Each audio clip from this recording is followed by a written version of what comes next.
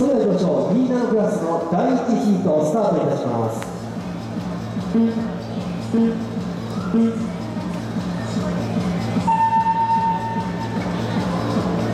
さあ非常にゆっくりとしたクラスですね。約3分の1スケールになりました B7 クラス予選の第2ラウンド第1ヒートが、えー、レースを決まりました。さあ非常に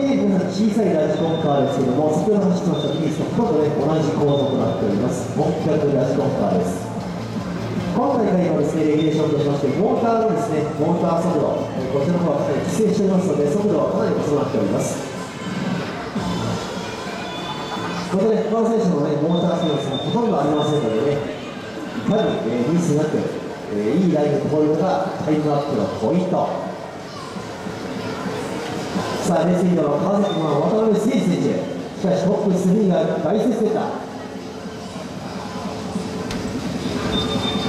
トップは川崎君は小林総一選手、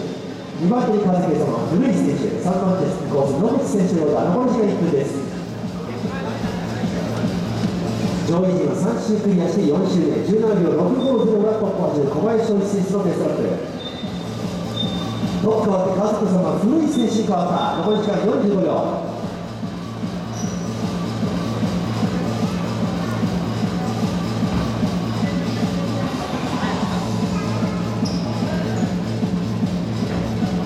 残り30秒です。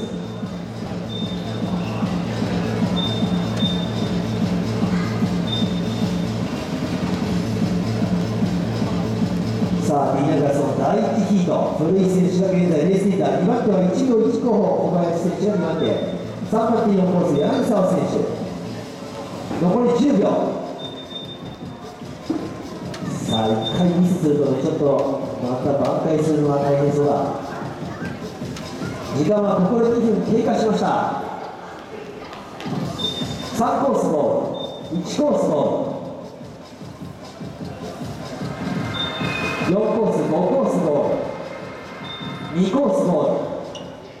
ール、転車ゴールです。トップゴールは川上様、古井選手、72分1秒。